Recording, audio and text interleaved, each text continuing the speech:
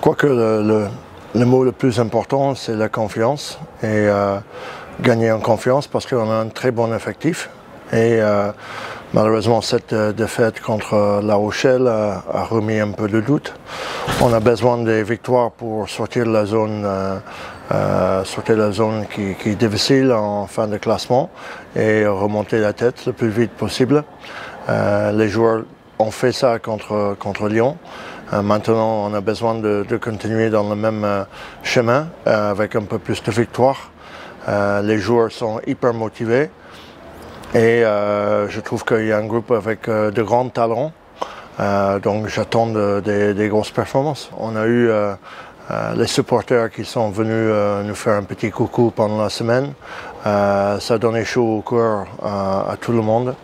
Et quand on est arrivé le samedi pour le match, il y avait un public en prêt pour le match, on va dire. Et euh, ils étaient derrière nous dès le début. Donc euh, je pense qu'on a marqué dans les deux premières minutes. Euh, C'était parce qu'on avait à cœur d'avoir fierté dans, dans, le maillot, euh, de jouer pour notre public, nos sponsors, nos partenaires. Nos coéquipiers. Et contre une très grosse équipe de Lyon, on, on a pu tenir jusqu'au bout et les faire douter. Castres Olympique, euh, c'est une équipe qui est, euh, qui est connue euh, mondialement, qui est connue sur tous les terres de France. Donc c'est très bien d'aller voir le public un peu ailleurs et trouver des liens avec des clubs dans des régions outre que le Tarn.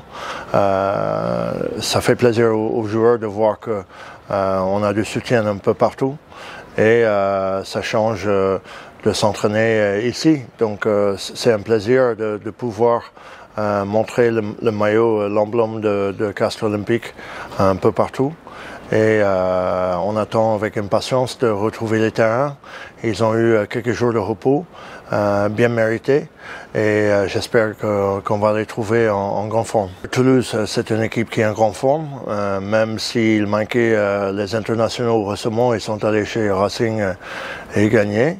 Euh, on va recevoir une équipe qui, récupère tous les internationaux de l'équipe de France la semaine prochaine. Mais quoi qu'il arrive, il faut qu'on se mette en face. Euh, il y a une grande euh, rivalité entre Castres et Toulouse. Le derby, c'est le match que tous les joueurs veulent, jouer. Au guichet fermé, il doit avoir l'ambiance. Et euh, bien sûr, on va tout faire pour, pour gagner ce match. C'est très important. Euh, euh, Toulouse, c'est une équipe qui, qui, a beaucoup de qualité, qui met beaucoup de volume de jeu, qui ont des joueurs hors normes dans, dans tous les postes.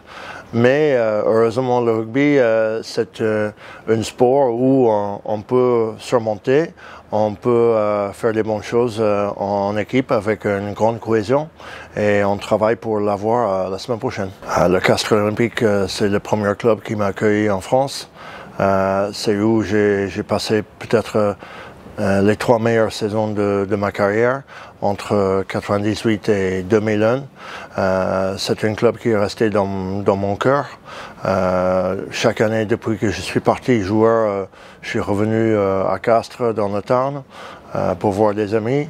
je pense que tous les joueurs étrangers qui viennent à Castres, ils sont super bien accueillis et ça les marque pour, pour toute leur carrière.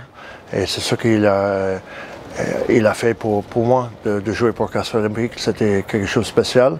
Et de les entraîner maintenant, c'est, euh, on a beaucoup de pression sur les épaules pour avoir les résultats parce qu'on veut le, le meilleur pour le club.